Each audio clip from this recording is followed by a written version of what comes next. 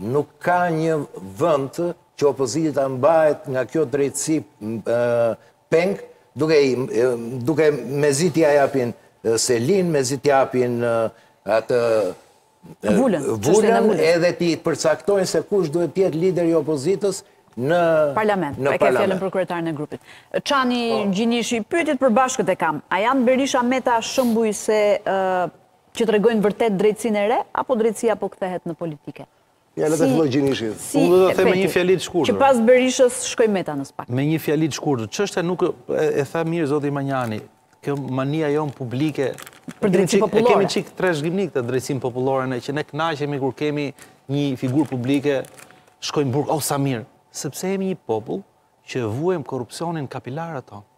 Po kjo nuk është drejtësi. Drejtësia është pavarësia gjyqësore dhe unë do të them vetëm një fjali, ku është zëvendëskryeministri Ahmetaj, pse nuk është i arrestuar, pse nuk është në burg?